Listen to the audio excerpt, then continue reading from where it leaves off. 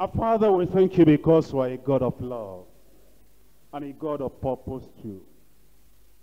And there is no life here this morning that doesn't have a divine purpose before it and behind it.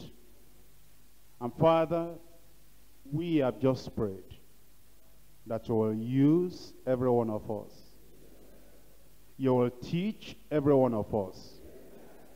You will lead every one of us. You will give us sweet rest from the confusion of the world. You will prepare us a threshing instrument.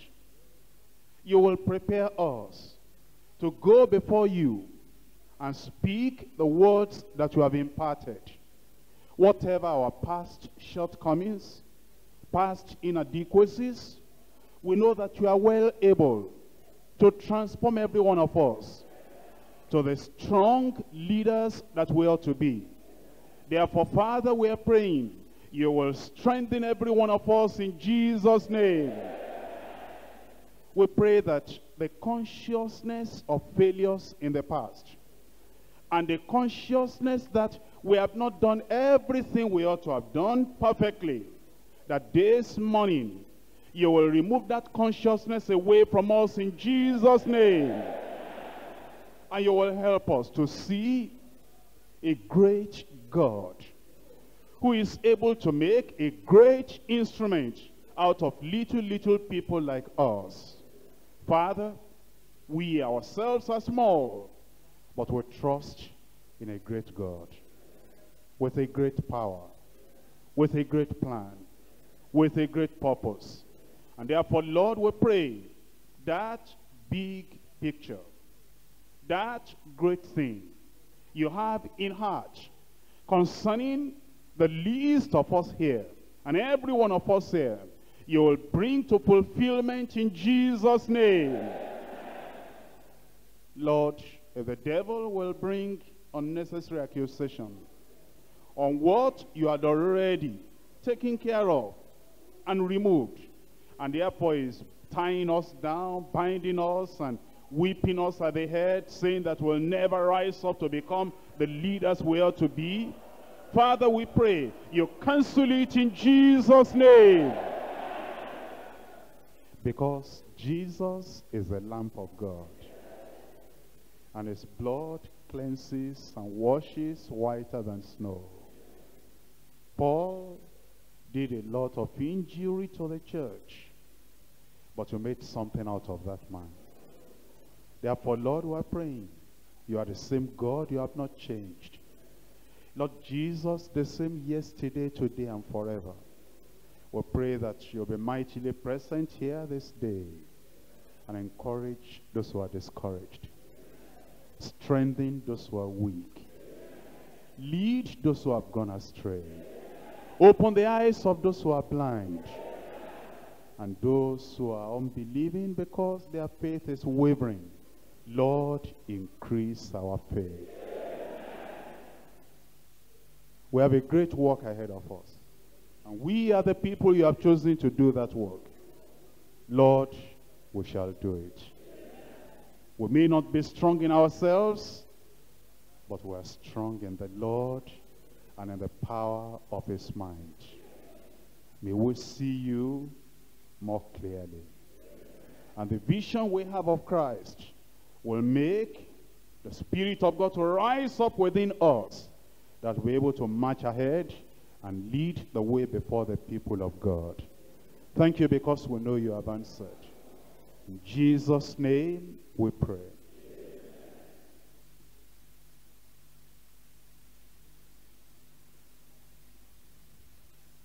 The session we have now is on leadership studies. And we'll be keeping to the outline there is much on the outline, so I'll be, by and large, looking into the outline, and we'll be sharing together from all these things that have been put down.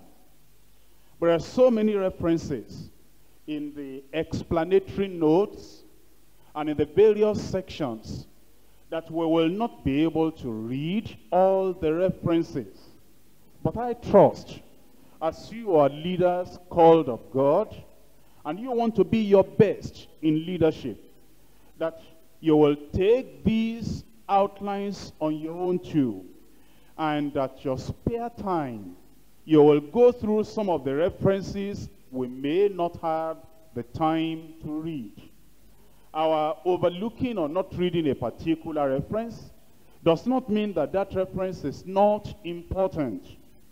It just means that we cannot read everything, and therefore we're trusting you and having confidence in you that you will take the time because we know you have much interest to develop the leadership quality that God has placed on you.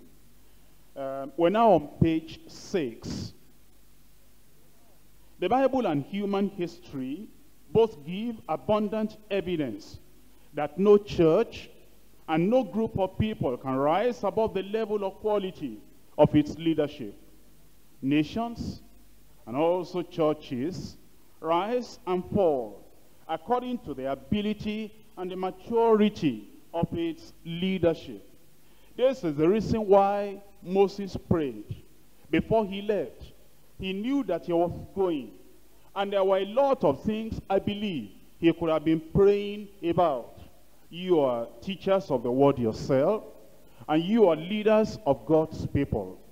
And there are many prayer requests that a leader has for the people of God. And if we look at the life of Moses and the history of the children of Israel, there were a lot of things that Moses could have been praying about at this time. For example, he had given them the law as God gave him. He could have been praying that, oh God, that these children of Israel have deviated so often will not deviate from the law of God. That would have been a good prayer. He could have been praying that all the enemy nations around will not overcome the people of Israel because he himself had said, or he said in Deuteronomy, that these seven nations, and he mentioned them, they are mightier and greater than the children of Israel. So he could have been praying for that. He could have been praying for, let's say, unity among them, the children of Israel, because he knew the experiences he had gone through. He, had been, he could have been praying for their consistency in the way of the Lord. Those prayers are very important, very legitimate. But then he had a special request. In Numbers chapter 27, from verse 15, and Moses spake unto the Lord. He was praying. When you pray, you are speaking to the Lord. And Moses spake unto the Lord, saying, Let the Lord, the God of the spirits of all flesh, set a man over the congregation, which may go out before them, which may go in before them, and which may lead them out, and which may bring them in, and that the congregation of the Lord be not as sheep which have no shepherd. Now, here Moses prayed for the congregation. You know, he called the whole nation a congregation. Have you ever thought about it? That if the whole nation, this nation, were following the Lord, there will still be a leader leading the nation as a congregation. And even though you may have many states, you may have many regions, you may have many tribes, yet we'll still be talking about congregation.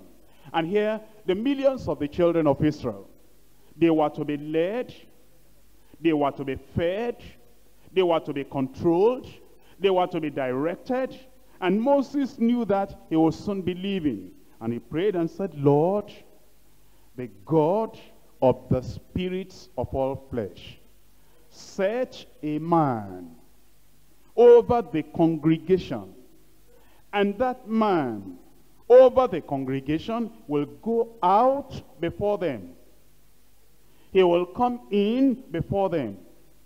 He will lead them out. He will bring them in. He said, Lord, if you don't do that, Then the congregation of the Lord is not the congregation of the man, but the congregation of the Lord will be a sheep which have no shepherd.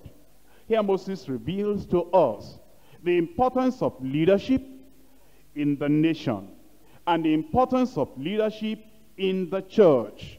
Let's look at Judges chapter 2.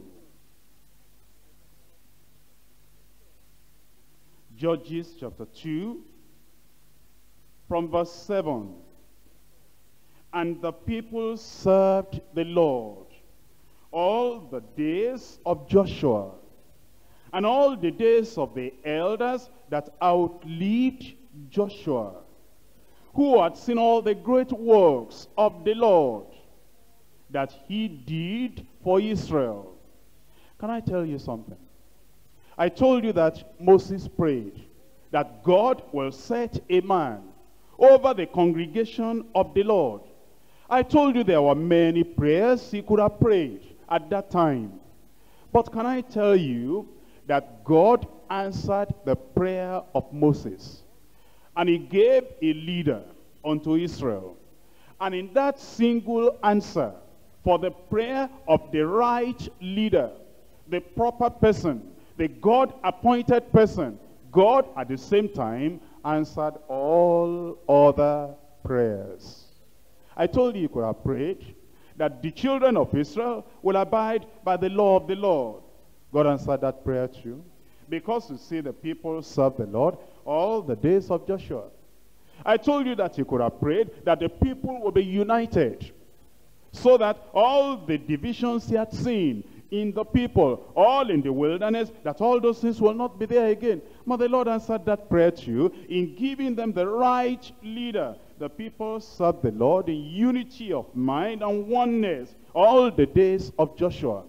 He could have said, he could have prayed a prayer that all these enemy nations will not conquer the people of Israel. God answered that too in just answering the single prayer of giving them the right leader, then all the other, all those nations were not able to overcome them. Are we praying that God will supply the needs of his people? All that is answered to. In giving them the right leader, all the needs they could have been praying about, all those things were answered.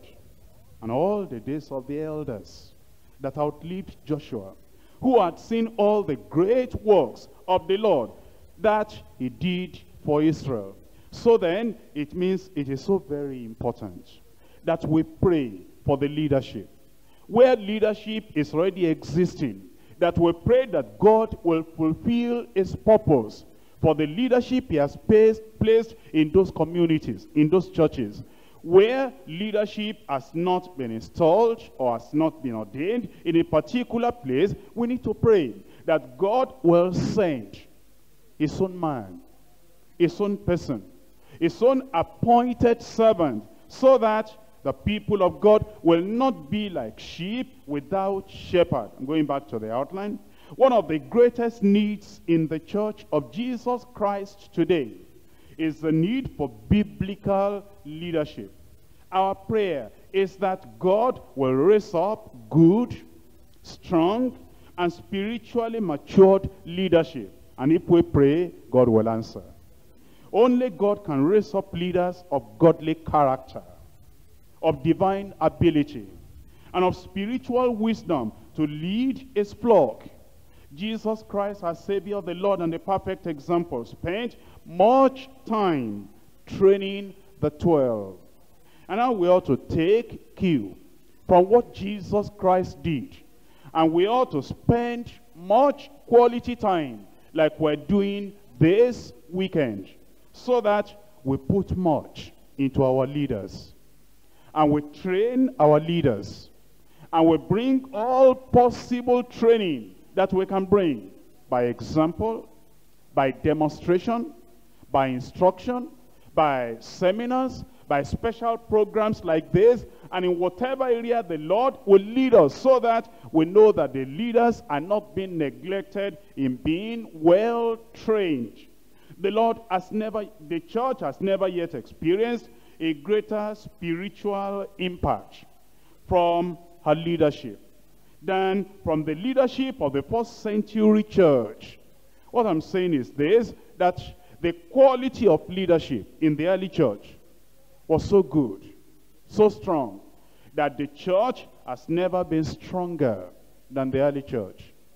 Although the church today, I don't mean deeper life alone, I mean the church at large, may have a lot of facilities, a lot of techniques, a lot of methods, yet the early church experienced something very great. You know why? Jesus concentrated much on the leadership and he trained those people. And if we, on a national level, will train our leadership to make the church strong, on the international level, wherever we have deeper life, if God will help all of us, I don't mean just myself, if God will help all of us as a church to train the leadership of the church that are associated with this particular church, I believe it will make the church strong. And if the church in every state, as a whole state, will make sure that the leadership is well trained, as Jesus concentrated on the leadership in the uh, around him, I believe that it will make the church strong and in every region. If we will concentrate on training leadership, the results, the reward, and the impact on the church will be very, very great. And of course, in the local assembly, if the church will concentrate on its leadership, that is why we would have expected that the pastor in a church will not just say, my Sunday message is very important for me. My Tuesday Bible study or Monday Bible study is very important for me and my revival hour message is very important and I prepare myself so that I can minister to the people. And then when it comes to the Saturday workers meeting, there is no structure, there is no plan, there is no vision, there is nothing that says, this is what I want to develop out of these leaders. It means that we are giving our best effort to the generality of the membership and we're giving less to the leadership in the local church. So we must make sure that we act like the Lord Jesus Christ and spend much time and share very much and impact the lives of the leadership that God has placed around us. As Jesus spent so much time in preparing those leaders. So must the church do today. And when I say the church, I mean you. You represent the church. You are the leaders of the church. And as Jesus did in training people, so must you do.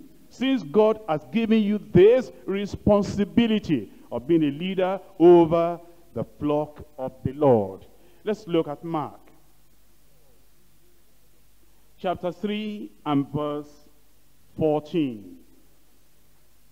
And he ordained 12 that they should be with him and that he might send them forth to preach.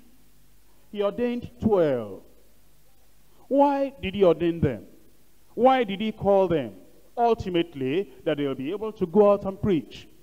But then they will be with him first and see him and note his life and see how he handles problems. See when he's tired. See when he's weary. See when, he's, uh, when people persecute him. See when it was the intention of the Pharisees to frustrate him. See when they asked him embarrassing questions. And see how he answered all those questions. Go along with him while he raised the dead while he preached the gospel, while he healed the sick. See his attitude to the Gentiles. See his attitude to political people.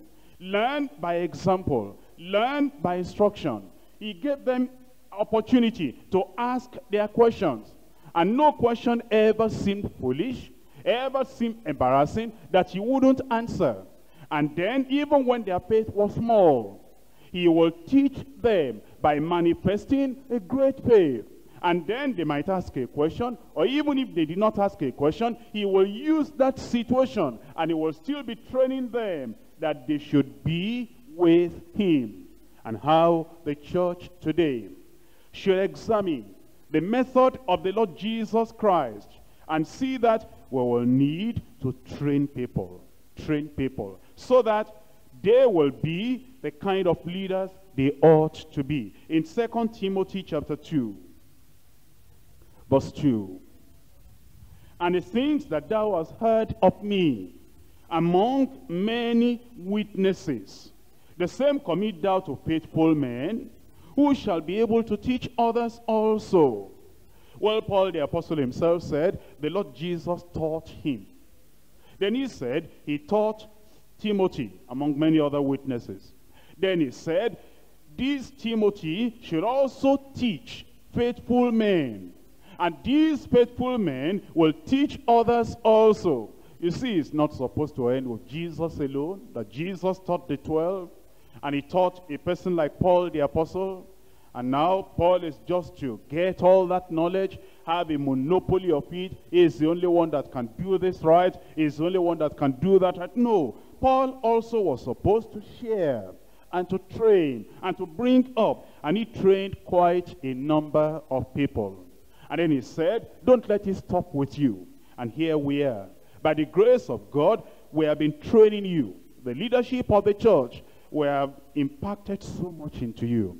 And when you go back to the local church, don't hold those things all to yourself alone. Make sure that you also make these things available and you train other people. The more God strengthens you, the more God enlightens you, the more God makes you to know what direction to follow as a leader. As you are being trained, the more you also strengthen other people, teach other people, lead other people, and also reveal to them the direction they ought to be going. Let's go back to the outline. Without strong leadership, the church easily falls back into the old worldly ways. Each generation of the children of Israel fell back into sin and idolatry whenever there was no God-given leader. That's very important. We may take care of other things, but if we do not take care of building up a strong leadership, anointed leadership, well-taught, well-trained leadership, all those other things we take care of eventually may crumble. And it is good to know that before Moses left, he, pay, he prayed that prayer. And he concentrated, he made sure that nothing diverted his attention from having a good leader over the people of God. I believe that Joshua did the same thing. Oh, you say, is there any record that he prayed specifically that God will raise up leaders over the people of God after he, Joshua, had left? Well, there is no particular uh, prayer point that we can refer to. But, you know, before he left, he called the people together. And he gave them a challenge. And after he gave them the challenge, he made them to come to a commitment. And then after that, eventually, he left. But you know, in what I read to you before, let's go back to that passage. Judges chapter 2. Judges chapter 2. From verse 7 again. And the people served the Lord all the days of Joshua and all the days of the elders that outlived Joshua. All the days of the elders that outlived Joshua. So Joshua too had been concerned. And God saw to it that he gave Israel the kind of leadership they ought to have. And then they continued following the Lord. Verse 8, And Joshua the son of Nun the servant of the Lord, died, being an hundred and ten years old. I think that's, that man was very old. I don't think many of us are up to half of that age already. Are there many people like that? 110. I think this should encourage you. If this man could still get all those people together and preach to them, and maybe you are just 35 now, or maybe you are just 45 now, maybe you are 55 or you are 60, and uh, you are saying they should let me preach less because look at my age now. I'm 60 years of age. Well, I present Joshua to you. What if somebody just came and said, well, we thank God we have a preacher this morning, and he's a veteran preacher. he has a lot of experience. He has fought many battles. We want him to tell us a lot of stories and how he waged that war and waged that war. Well, he may not be standing preaching. He may be sitting down and preaching, but let's hear from him. Here I introduce to you the man of God, Joshua, and his age is 110 then you know a, real, a leader is really coming to speak.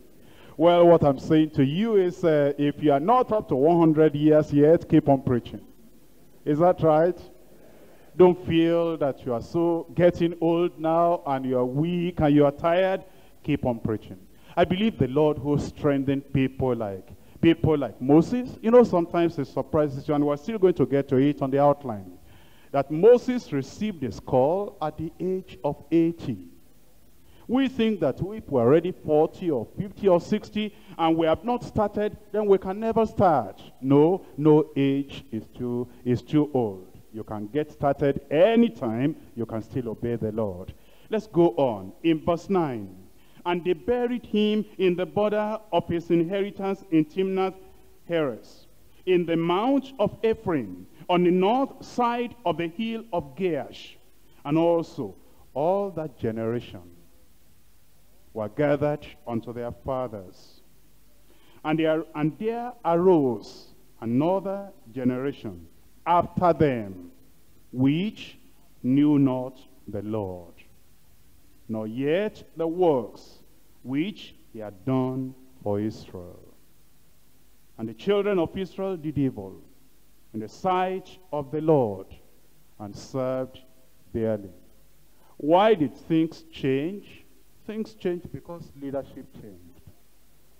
The leadership that followed after Joshua, by the grace of God, they still kept the people. Because the people kept on serving the Lord, even the people that outlived Joshua. But then after that generation, another generation rose up. And the people did not know the importance of leadership. And when they failed on that area of leadership, every other thing failed. I pray that God will continue to help us as he has been helping us in this church in Jesus' name. Israel had no strength, no vision, no glory, without the Lord ordaining leaders, kings, prophets, or judges to come to their aid.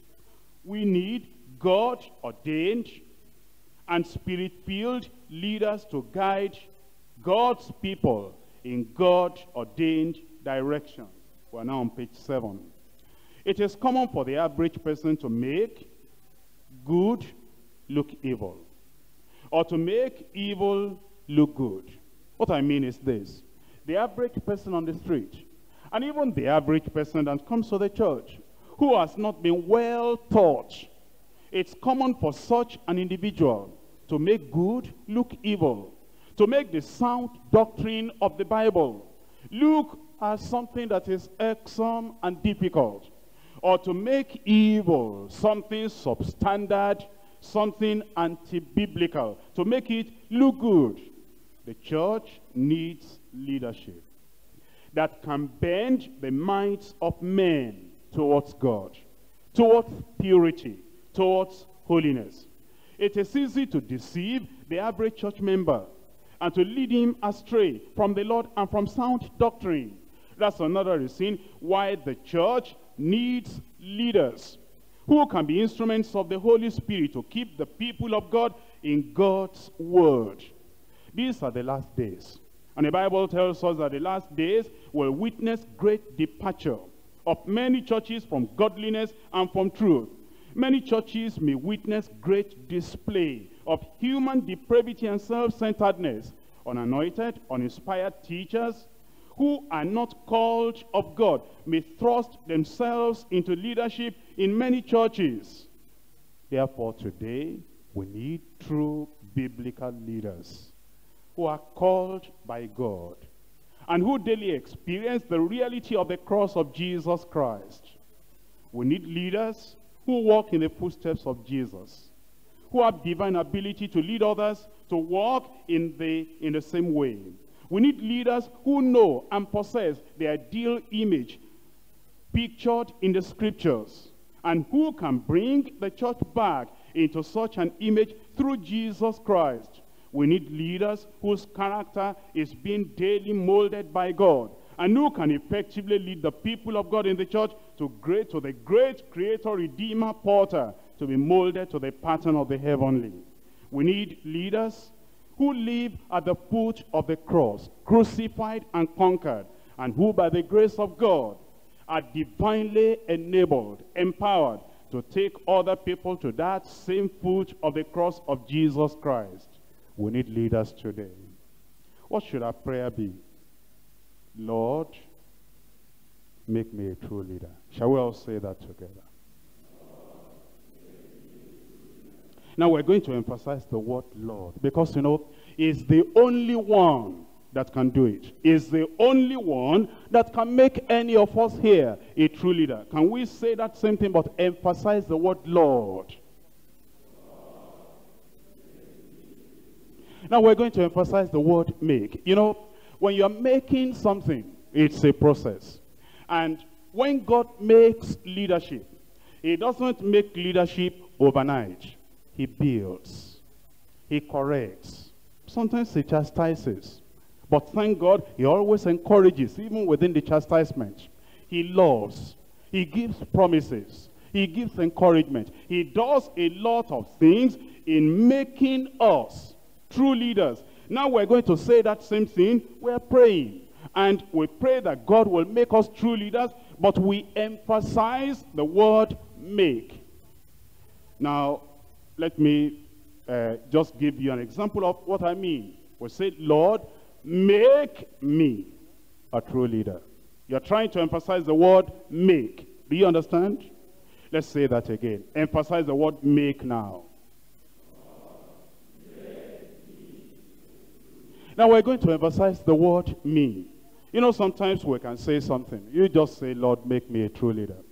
But when you look at yourself, and you want to be a true leader, and you look at your past trials and errors and difficulties and inconsistencies, and you know that you, except the Lord really wants to show supernatural love, superlative grace. If it were not the Lord, if it were man, he would have given up on any of us. Therefore you say, Lord, I said that before, make me a true leader. I want to emphasize the word me. Now can you do that?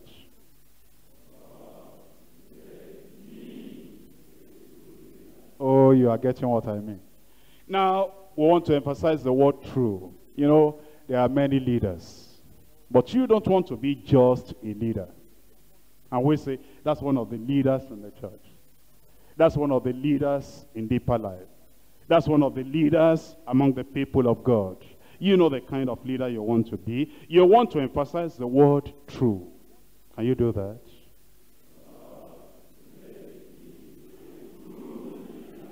Wonderful. And you know, a leader real, real, real leader, God will make you. Say this last sentence and put all your strength in that leader. You will lead. By the grace of God, you will lead. And you will lead the people of God into the haven of rest. Into the place where God has appointed for the people of God. You are like a shepherd. You are like a captain. You are like a ruler you are, you are like a leader and you are like a pilot. You are piloting the people of God. We know where we're going. The place is far, but you will not get tired by the way. Until those pearly gates open and you lead the people of God in, and then you look back, you see that every person the Lord put in your care, everybody has entered, then you raise up your hand, you begin to praise the Lord. The Lord has made me a true what? Leader. Let's say this last sentence and put your emphasis on the word leader.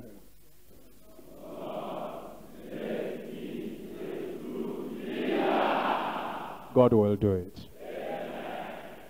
I just uh, did that with you so that you will still be able to continue later and you will do that. And if you pray this prayer, God is going to answer. Doesn't matter how many mistakes you have made in leadership before. Doesn't matter. You might even be saying, let them put another person there. I am not qualified. Moses said he was not qualified to, but you just pray the prayer and the Lord will do what he ought to do. Now let me go to study one. The true biblical leader.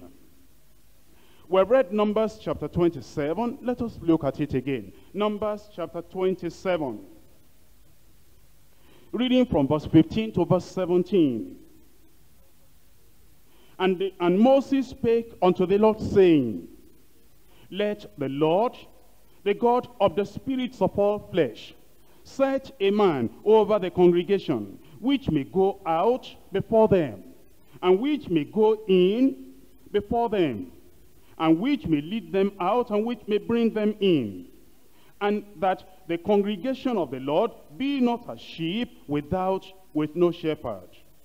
The church leaders need to have fresh revelation on who true biblical leaders are. Popular notions of church leadership seem to center on non-Christian concepts of leadership. God has given certain principles in his word by which church leadership is to function. Yet very often, executive business principles take priority over specific scriptural guidelines in many minds. Carry over models from the world brought into the church often rob the church of her spiritual strength, power, and impact. Emphasis on secular knowledge rather than scripture. Emphasis on mechanical methods rather than spiritual ministry. Emphasis on professional training rather than Holy Spirit unction. Emphasis on committees and boards rather than inspiration and revelation. Emphasis on brainstorming meetings rather than prayer meetings has tended to paralyze the church of God. The constant danger of the world's model of leadership in the church is that it tends to replace God's ways with man's ways and can ultimately lead to spiritual destitution. So, we want to think about the true biblical leader. And I want to tell you that there are, there's leadership in the world. But then we do not carry the model of the world. We do not carry that model into the church. Our emphasis should still be what a biblical leader ought to look like. Because if we do not consider biblical leadership, if we bring models from the world, it can lead us to spiritual destitution. Let us think about this. Number one, the definition and description of a biblical leader. Number two, the call of a leader. Number one, definition and description of a biblical leader. What I will do is this. I will read some of the references we have here. I've told you before I'm not going to be able to read everything because of our time.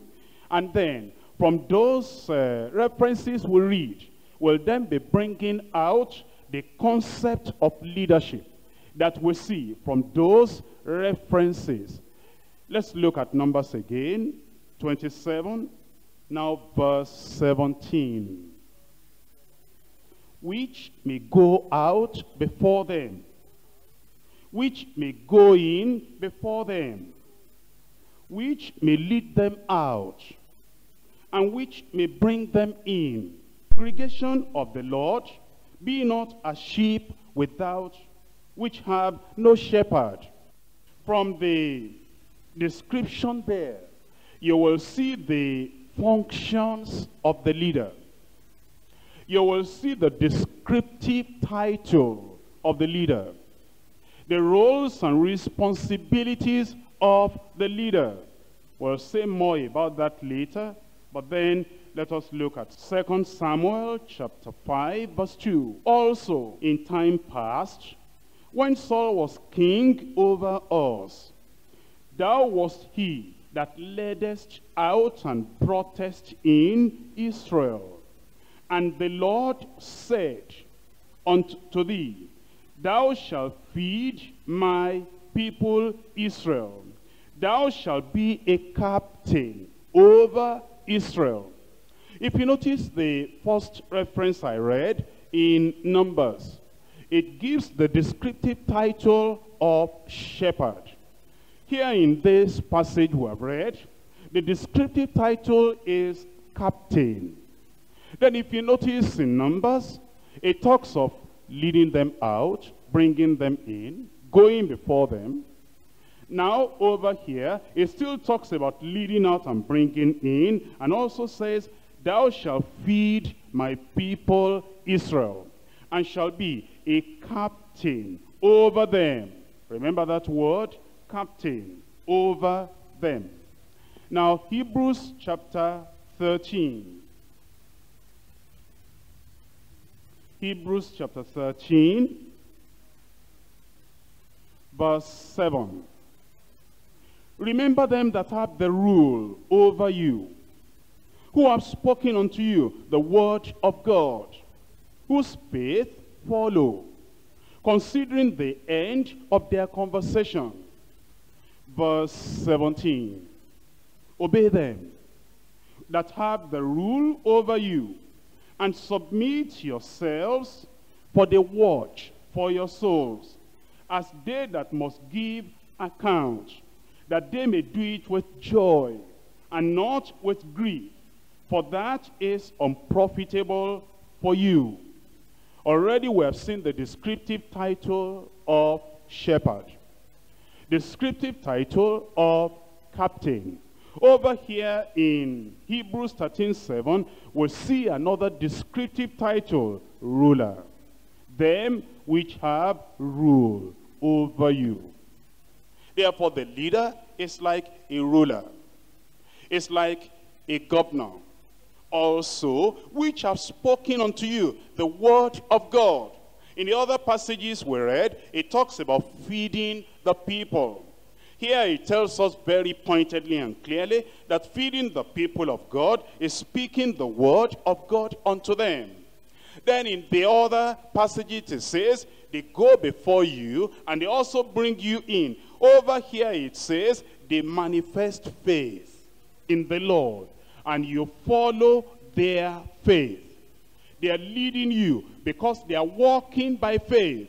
And now you that are the people that are ruled and controlled and led of these leaders, you follow their faith, considering the end of their conversation. That is the result of their manner of life. Verse 17 talks about the leader in another way. Although it uses the word having rule over you, but it brings us the, uh, the leader now as a commander that gives out command, that gives out instruction, and that gives out the things that the people of God ought to do, and we are to obey. Therefore, the leader here is pictured as a commander, as a captain in the army, and that we are to submit ourselves. But then verse 17 also says, he's a watchman. He's a watchman. And he's watching over your soul and he will give account if enemies get into the territory and they snatch any of us away. Therefore, as we look at all these, and there are others we can still read. Maybe this is very important, and I should look at it. In Acts of the Apostles, chapter 20. Acts chapter 20, verse 28. Take ye therefore unto yourselves, and to all the flock, over the which the Holy Ghost has made you overseers to feed the church of God, which he has purchased with his own blood. Here, he gives us the descriptive title of overseer. Now, the biblical concept of leadership sets forth the leader as a shepherd. It also sets forth the leader as a captain. Sets forth the leader as a ruler. And sets him up as an overseer. There are other descriptions and titles of a leader in the church. The Bible calls the leader servant of God and servant of his church. The Bible calls the leader minister of the mysteries of God. The Bible calls the leader steward and calls the leader elder. But these imply that a leader, now from all these descriptive titles, what do we know of the leader? As we try to give a definition, we know this, number one, a leader is one who goes ahead and acts as a guiding force. Think about yourself as a leader. We preach, that's wonderful. We counsel, that's wonderful. But is that the totality of our leadership? No, not at all. We're always to go ahead of the people as a guiding force. Guiding the people of God, too. The leader is one who gives direction and structure to others' work and efforts. You think of the leader as a captain, and you think of the people of God as an army.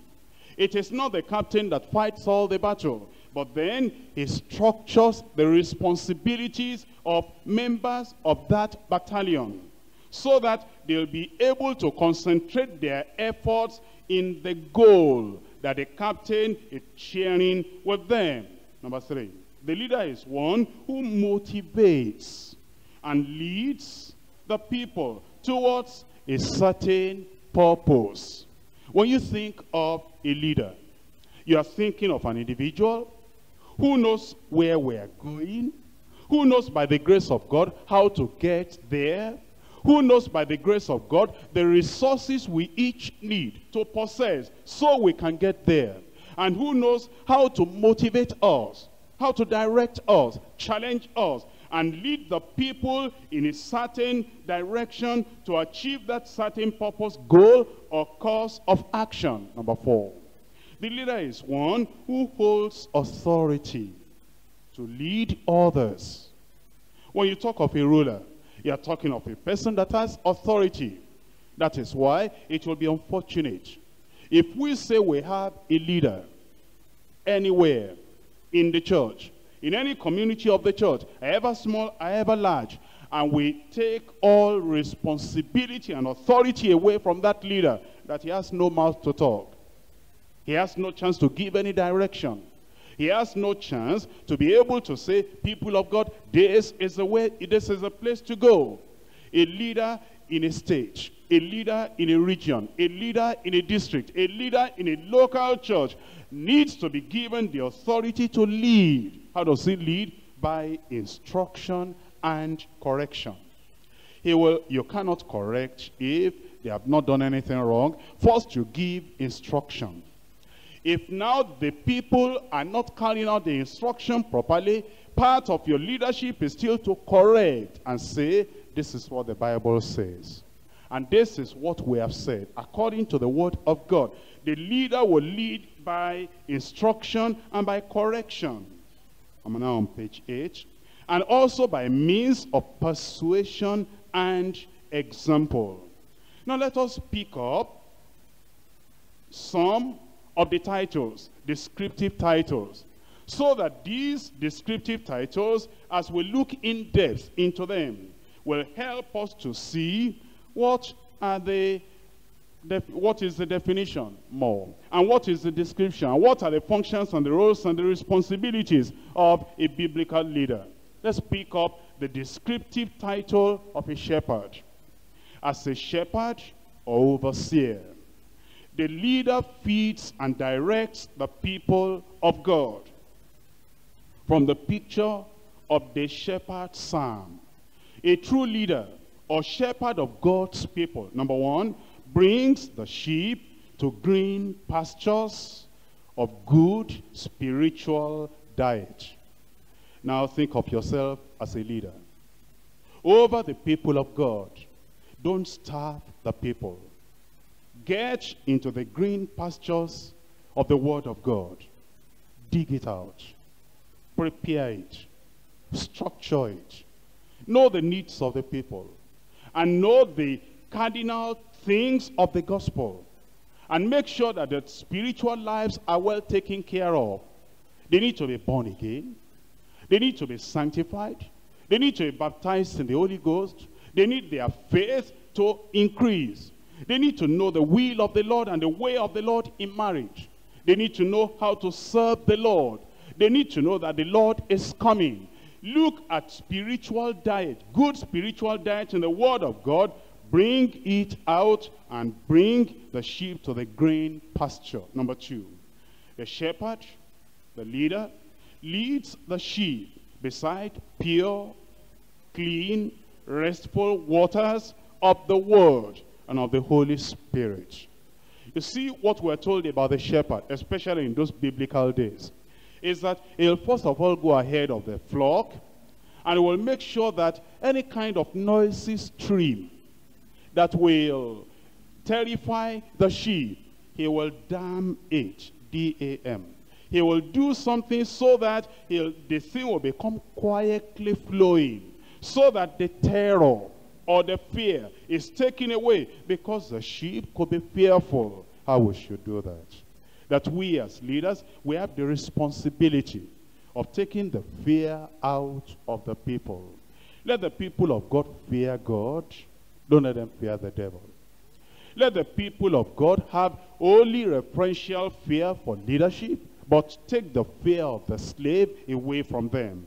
Let the people of God, let the leadership in the church. Lead the church beside the pure water, the clean water, the quiet, restful waters of the word of God. So that as you, as the leader, when you come in, the people are resting in their mind. Oh, they say, our leader has come. He's going to quieten our fears. He's going to lead us in the right direction. Number three, restores the souls and the lives of the weary, the failing, and despondent members. Number four, guides the sheep in the right path to know and to do and to enjoy God's perfect will in all things and at all times. That is why we praise God for the leadership of this church. The leadership of this church, I would say, almost in every community and locality, all the leadership have been busy teaching the people of God that we ought to know the will of God. I don't know yet, maybe, I don't know yet any other church that teaches that the people of God should know the will of God in marriage. Know the will of God in your career. Know the will of God in decisions to take. I don't know any other church that emphasizes that more than we do here in Deeper Life.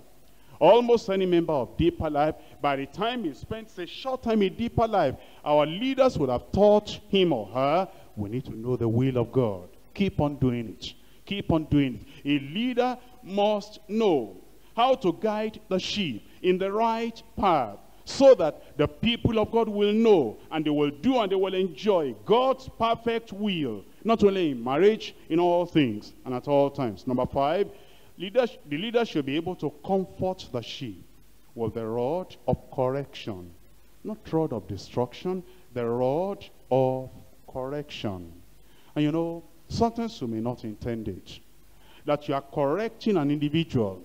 If you do not manifest love at the same time, gentleness at the same time, humility at the same time, what you intend to be for correction may end up being for destruction. Let's be watchful. And also the staff of protection. Thy rod and thy staff, they comfort me. Let's make sure that as leaders, we have the rod of correction, but at the same time, the staff of protection. Protect them, that they will not get so despondent, they will give up the faith. Number six, the leader prepares satisfying diet to keep the sheep from wandering away from the flock. You see, if the people are hungry, Every time they hear that an evangelist comes to town from any place, they like to go there. They say, maybe I will get what I've never got in our church here. But if we expose the people of God to the totality of the word of God, whoever is coming to our community from that place or that place, the people just rest because they know that the leader in that place has exposed them to everything by the grace of God the Bible provides for us. Number seven, the leader anoints the head of, his, of each sheep with the protective oil of the Spirit. Why? You know, in those days, this is what I have seen in write-ups on history. In those days, they sometimes the sheep, as they go about in the bush or in the wilderness, the flies and other kinds of insects will be hovering around them. And they disturb the sheep a lot. Therefore, what the shepherd will do is to put oil on them and a kind of oil that will be able to shield all the flies and the insects away so that they'll not be bothering the sheep. You know, there are demons, evil spirits that may come to attack the people of God. Come in the day, come in the night. But the leader will know how to teach the people of God much of the Spirit of God anoint them with the protective oil of the Spirit, so that these evil spirits, they will have no place amidst the people of God and in the church of God in Jesus' name. Now, that's something we learn from the picture of the shepherd. How about the picture of the captain, the ruler, and the elder? Let's look at this. From the picture of the captain, the ruler, the elder, the leader or leadership in the church must have eyes that can discern those who are called to a particular work in the church and be able to release them to that work. You see, as leaders, we're always looking for people to develop. We must always be looking for people that show talent, that reveal the call of God upon their lives, that show evidence of the touch of the Lord, the hand of the Lord, and we are always looking for ways and means of releasing them into such a ministry and work. In learning to recognize and release others to minister according to their calling, the leader will do the seven things. Number one, the leader will recognize the ability and the potential in each person. Don't look for them to be exactly like you are. Because you may not possess everything that the apostle, the prophet, the evangelist, the teacher, the pastor possess all together. God has raised you up as a leader in your own capacity. But some of these people you are bringing up may be revealing or manifesting some other leadership qualities in some other areas of ministry. Recognize it. Recognize the ability and the potential in each person. Number two, focus on positive areas in each person. You see, if you are going to train other people, if you are going to release them to the ministry that God is calling them to, you have to de-emphasize. You have to put under the carpet the negative things. If you are looking at the negative things and you are hammering on them and talking on them all the time, you will forget the positive side. Focus on the positive areas in each person's life so that that will help you to see what to develop. Although if the negative will destroy the positive, you will know how to work on the negative in such a fatherly manner, in such a style that will not destroy the positive qualities of the life of that individual. Number three, challenge each person to fulfill his potential and to develop his gifts. Challenge them. Don't be quiet. If you see something good, if you see a potential, if you see a gift, if you see something coming up, although not yet well developed in a leader under you, in some workers under you, don't keep quiet. Just tell them, brother, looks like a, you're a potential teacher. Brother, you talk like an evangelist. brother, it, it appears that if you give the prayer intercessory uh, ministry in, that is growing up in your life, if you give it more time, you can do a lot by prayer. Because I believe the Lord is raising you up for something like that. But be watchful before you say it. Don't just say it just to say it. Because you see, if you say it just to say it, and it is not real, it will be insincerity. And people recognize insincerity. Let us be sincere about it and let us tell the truth to the people so that they'll know the right things to be developing in their lives. Number four, be willing to spend much time and labor upon each person. Even be willing to be frustrated with, with each person without giving up on him.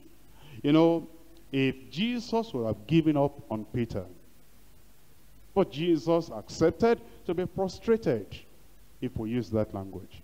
With all the inconsistencies in Peter's life. And he just kept on and on and on and on. Even when he had done the greatest sin that we thought he could have ever done, when he denied the Lord, and with an oath, and even swore. I mean, the ordinary Christian is even told not to swear at all, whether by your head, or by Jerusalem, or by anything and to swear that he never knew Jesus. I mean, it was the greatest lie that you could ever have imagined. When Jesus rose from the dead, he said, go and tell my disciples, and then he mentioned Peter in particular. I think if it were any of us, we would have given up on Peter. You see, James and John, I mean, what they did, we are all students of the Bible, and we're all preachers. They knew it was wrong. Jesus said it was wrong. The other ten disciples, they said it was wrong. But you know, I have I had a little problem on that uh, passage. You know, here is uh, James, and he came on the one side, and John came on the one side, and they looked around. They saw the other ten people were not around, and he said, Jesus, we have a special request. And if we can settle this deal before these other people come, let's say, if I stay on this side and then my brother will stay on this side. And Jesus said that, ah, why are you thinking about this? Are you able to drink the cup? Oh, yes. Let's answer all the questions quickly before they come. Oh, yes, uh, you know, we can drink the cup. And uh, are you able to, you know, be baptized for this thing? I'll be baptized. Oh, yes, oh, yes, we can. And Jesus said, yes, you can, and you will. But to sit on my right hand and to sit on my left hand is not mine to give. But to be given to whom the Lord has prepared it. Now the thing that bothered me is this. Then the other ten, they came. And they heard about it. And it said they were full of what? Tell me out loud. Now the thing that bothered me is that one of those people that were filled with indignation is Judas Iscariot. He had his own plan. And he was worse than these other two people. And when these other two people said, I want to sit down there, I want to sit down there, Judas also was angry. Uh, you know, many of us, you're angry about other leaders and say, that leader did not do well, that leader did not do well. Well, thank God you are not Judas Iscariot. But you know, some of us have our problems too. And Jesus called all of them. He didn't give up on them. He said, forget it. God will place every one of you where he ought to place you. He didn't give up on them just because they got angry and they had indignation. Sometimes we give up too quickly on leaders in the church. Workers that were raising up in the church. Or it may be a member of the choir. It may be an usher. It may be one of the, you know, location pastors. It may be one of the leaders we're raising up. And we have high hopes. And then they did something we didn't expect. Or they said something we didn't expect. Then we become so frustrated and we lose them. And we say, you can never be. They can be if you are patient. And God will make them to be if you are patient. So let us endure. And let us make sure that we keep on spending much time and much labor in prayers. Even in the time of frustration, limit what you say. You may be frustrated because of a particular person you are trying to train, you are trying to bring up. Even when you are disappointed, don't always show it. Go back to the Lord and say, Lord, if it were you, would you still be more patient? If it were you, will you still give more time to pray and to develop and to train these people? And Jesus will follow the pattern of Jesus Christ. Number five, encourage each person in times of weakness and mistake and keep planting a bright vision in his heart. I believe that once in a while, almost everybody, I should have said everybody actually, but let me just say almost. I believe that once in a while, almost everybody may get so discouraged like Moses and say, Lord, take me away. I cannot lead these people. They are incorrigible. They are this and they are that. In your leadership career, you will find that sometimes in the church, the local church where you are, or maybe the region where you are, or maybe the state where you are, or maybe the nation where you are, wherever God places you as a leader, you may become so frustrated that you cannot lead these people. And the same thing, understand that the leaders under you too may feel like that. And when they feel like that, and they come to you and they say, remove me from being a leader. I don't think I can do it. Don't agree with them. Don't agree with them. When Moses went to God and he said, I cannot lead the people. I cannot do it. You know, he said that at the beginning and God gave him Aaron. God didn't say, okay, you say you cannot do it. That's all right, you cannot do it. Never agree with the people that they cannot do what God wants them to do. Never agree with the people that grace will not be sufficient. Never agree with the people that they will just live mediocre life and they should just give up everything the Lord wants them to achieve in leadership and even later, after Moses had started, and he said, well, I cannot bear all these people alone. Am I the one that gave birth to them? Are you living, if I have found grace in your sight, just uh, if possible, take me away and all that. And God said, I know your problem. You need more assistance. Those 70 people, gather them together. And you are the one that will still lay your hands on them. And then I will pass some of the Spirit on you, upon them. You will still be the leader, but then now they will assist you. The same thing, if God will not give up on a person like Moses or other people, you don't give up on anyone. I pray that when situations come in your leadership life, that a person you might be tempted to give up on, you will remember what we are saying today, and you will not give up. And yourself too, when you feel like giving up, don't go and tell the church. You see, the church is not matured. What I mean is, it's not everybody in the church that is matured. Some of them are well matured and very wise, and we praise God for them. But you know, in a church, there'll be young converts, there'll be young people. If you are tired, don't go to the pulpit and say, church, this morning I am tired. Because, you know, the following day you may become strong. And then when you are strong the following day, they are still carrying the news about and they are saying, Pastor said he's tired. And uh, the following month, uh, even after you are now jumping up and by the grace of God, your vision is now bright and everything is okay, the people, the immature people, they are still carrying story. They are still saying that you said you are tired. If you come back and you said, I am not tired anymore. Some of the people that were in church when you said they were tired, they are not in church today. They are for those other people not around that still carrying their story. When you are tired, don't talk to men, talk to God. And Moses spoke to God when he was tired. And when he had a problem. And God strengthened him. And God will strengthen you in Jesus' name. Amen. Then the person you are developing, give him opportunities for development and put confidence in his ministry. That is, give him opportunities to preach, opportunities to lead, opportunities to have responsibility. And when he does something, he may not do it perfectly. You know that he's just starting. You know that he didn't occupy that position of responsibility before. Don't chew him out and knock him down and say, you spoiled the whole work. The first opportunity I gave you, look at what you have done. Be gentle on him and spot out the positive things that he did well. Emphasize that and then when he's happy that at least he tried a little, then you will say, but you will become a better leader if you are taking care of this area, this area, and this area. Number seven, pray for him. And I think this is something we have to consider very well. Take the leaders under you and the workers under you. Take them to the throne of grace one by one. Pray for them constantly. Pray for each one until he becomes a well-trained, disciplined soldier in the Lord's army.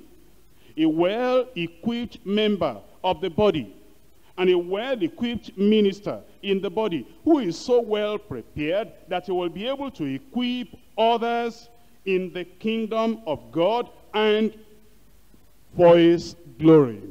The question I want to ask as we have looked at all these functions, all these roles, all these descriptions about the true biblical leader is the question that Paul the apostle asked. And it's the question, who is sufficient for these things? The answer is, there is no one. But we can be what we ought to be by the grace of God. At the next session of the leadership studies, we'll continue. For now, we'll rise up and we'll talk to the Lord, who is sufficient for these things. Oh Lord, make me a true leader. In myself, I cannot do it. In myself, I cannot measure up. Given my limited ability, it is not in my power to measure. But you can qualify me. You can assist me. You can help me.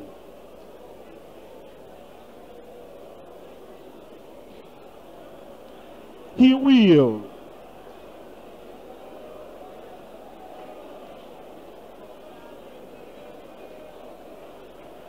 He will.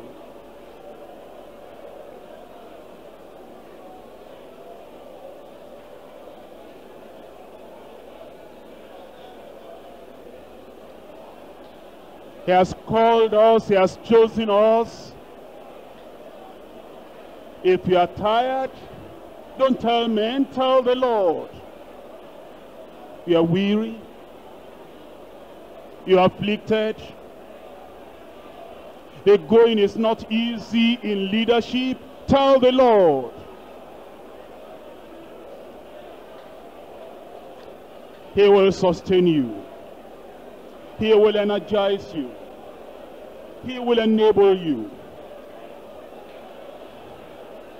He will fill you with all the resources of heaven. Tell the Lord.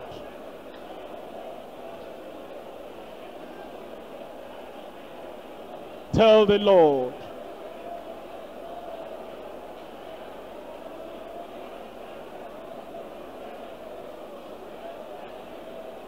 A true biblical leader.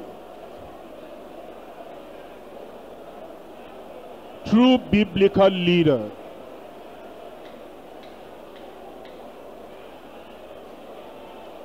Wherever you are, you can do what God wants you to do.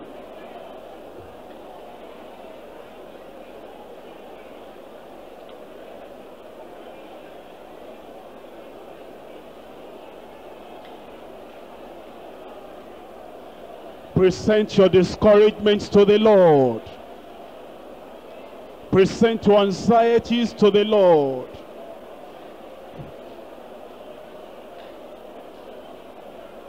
And you tell the Lord to develop all these leadership qualities in you.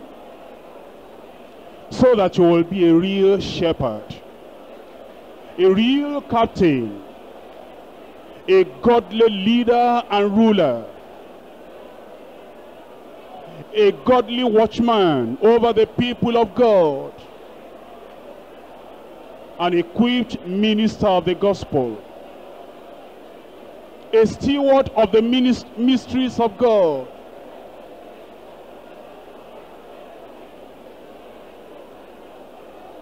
You can do it. You can do it.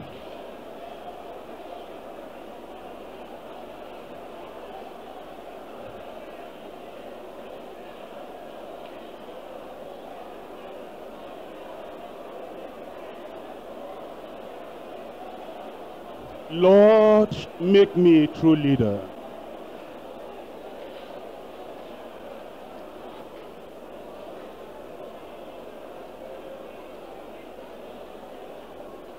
In Jesus' name we pray.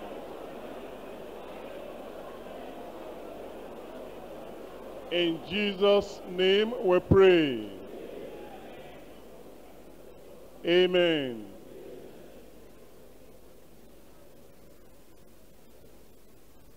Our Father and our God, we thank you for this great revelation of your word to us. Lord, you've shown us from the Bible what a true leader should be. Lord, you have whet our appetites. And Lord, our desires are great. That Lord, we want you to make us the true leader. Lord, we want to be true leaders to our people. And we've seen the qualities of what the true leaders should be, of what is expected of the true leader. And Lord, like the Apostle Paul, we're saying who is sufficient unto all these things. But Lord, also like Apostle Paul, we're saying we can do all things through Christ that strengthens us. Right now, Lord, we're saying, begin that work in us and make us true leaders in Jesus' name. Lord, in making us true leaders, there are things you will need to knock off our lives. And here we are. We'll say, Lord, do it in Jesus' name. Lord, there are things you will need to take off. There are things you will need to cut off. There are things you will need to prune. There are areas you will need to really work very hard in our lives. Father, we lay our lives before you and we say, go ahead and do all that you want to do, but make us true leaders in Jesus' name. We know you will do it. And we thank you because you have answered us. In Jesus' name we pray. Amen.